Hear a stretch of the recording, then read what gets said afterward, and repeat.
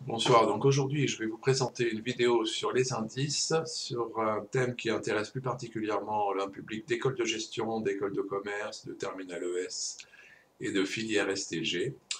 Et elle est destinée plus particulièrement à l'intention de Romain Ballereau, qui se trouve être un ambassadeur 3 étoiles de wleprof.fr et étudiant à l'EBS, hein, l'European Business School, euh, vers laquelle euh, la vidéo est plus particulièrement euh, destinée.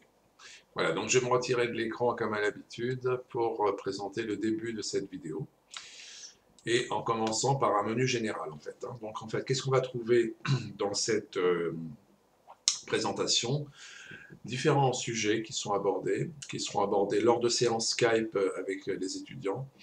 Et donc je vais vous présenter surtout les outils pédagogiques et les interfaces graphiques qui permettent d'accompagner ces séances de soutien scolaire par Skype. Donc, par exemple, si je choisis euh, la présentation des indices, on aura ici un thème à parcourir en direct avec l'étudiant, soit euh, l'indice de construction, des définitions, soit effectivement on pourra parler des autres indices, les indices de Sigwick et l'indice de Fisher, comment ils sont construits à partir des indices de Lasper et de Pache, Là, je fais un survol pour montrer les différentes possibilités. Donc, vous voyez qu'il y a un thème qui est consacré aux indices usuels, donc plus pour des questions de cours. Les indices de l'Asper et Pache, évidemment, c'est ceux sur lesquels on s'attardera davantage, avec les formules théoriques et beaucoup d'exercices d'application pour utiliser ces formules. Donc l'indice de l'Asper, l'indice de Pache, l'indice synthétique des quantités, parmi les trois indices indispensables à connaître pour préparer les examens et les mi-termes en ce qui concerne l'école EBS. Un entraînement aux indices élémentaires, là il s'agit d'interfaces avec euh, des questions et des solutions qui sont masquées lors des séances et qu'on analyse ensuite pour euh, confronter la solution de l'élève proposée avec la solution existante théorique. Donc des exercices euh, qui concernent par exemple les indices élémentaires. On pourra s'entraîner aussi avec des indices synthétiques notamment ici euh, l'indice synthétique de prix à partir d'un exercice et d'une série de questions qui sont extraits d'examen, de sujets d'examen. Aussi bien, on aura la possibilité d'aborder euh, des exos qui concernent l'agrégation d'indices partiels.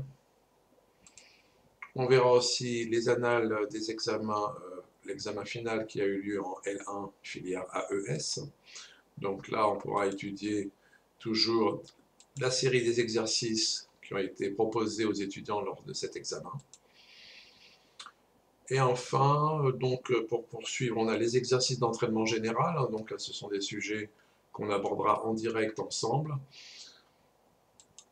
qui sont très variés, qui couvrent les différents types d'indices. On verra aussi, en ciblant particulièrement la préparation d'EBS, un exemple, ou une série d'exemples plutôt dénoncés lors de la validation des connaissances pour l'école EBS. Donc avec euh, ce type d'énoncés qui sont connus déjà des étudiants qui ont suivi le cours sur les indices.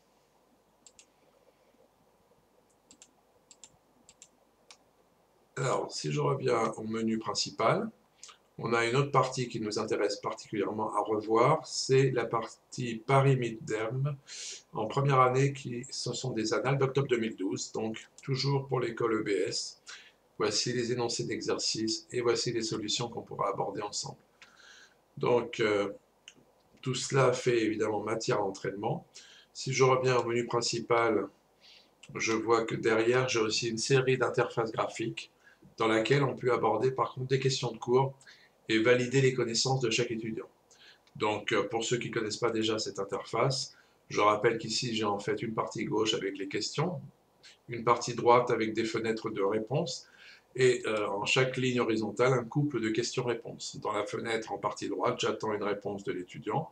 On peut valider ensemble les connaissances pour évaluer un niveau. Ici, par exemple, une meilleure euh, connaissance parfaite, qu'on va l'évaluer en niveau A évidemment, quand ce sera euh, très insuffisant, ce sera évalué avec la lettre E. Donc, euh, toujours possibilité de masquer la mise à niveau, l'évaluation de l'étudiant, ou bien de masquer la fenêtre réponse, et dans ce cas-là, de se servir de cette interface uniquement comme un outil de présentation de cours, un outil de validation de la connaissance théorique. Donc je reviens à mon interface question-réponse. Donc ici, euh, sur chaque ligne horizontale avec un couple question-réponse, j'ai la possibilité d'accéder à l'interface qui correspond à la question pour avoir une réponse beaucoup plus développée et pouvoir expliquer en temps réel en live lors de nos séances Skype ou lors de nos séances en direct à domicile. Bon, par exemple, je vais parcourir différentes questions. Ici, comment est défini l'indice du coût de la construction? Voici donc euh, la réponse développée. Et si je continue à parcourir ces fenêtres, je peux aussi aller chercher la question qui intéresse les définitions des indices de l'asper et de Pache. Ici, j'aurai la possibilité de parcourir cette partie de cours qui intéresse particulièrement les étudiants de BS et les étudiants d'école de gestion. Donc tout cela, évidemment, va être étayé d'exercices, d'entraînement, ce qui fait qu'on va se rendre assez rapidement sur la fenêtre d'interface des exercices. Donc derrière toute la partie cours, qui est reprise ensemble, avec différentes questions qui concernent la définition des indices simples, des indices synthétiques, des indices élémentaires, des indices de l'asper et de Pache. On aura derrière une série d'exercices pour s'entraîner sur l'agrégation d'indices partiels, l'enchaînement d'indices successifs, la déflation élémentaire, la déflation, l'intérêt et inflation des indices alimentaires. Bref, ceux qui ont été parcourus dans le début de cette vidéo lors de la présentation du menu général. Ici, donc, on a tout loisir à chaque fois pour masquer la fenêtre solution. Hein. Ces diapositives, en fait, sont constituées d'une partie question, d'une partie solution. Et donc, on a la possibilité de s'entraîner et de confronter la réponse de l'étudiant avec la réponse attendue.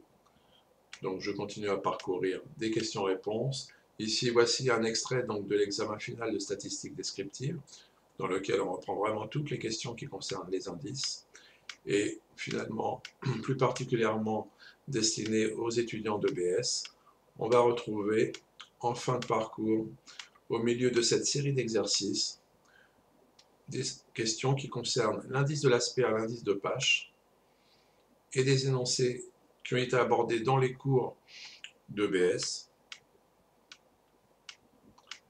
ainsi que les différentes euh, questions traitées par l'EBS Paris lors du midterm test statistique en première année en octobre 2012.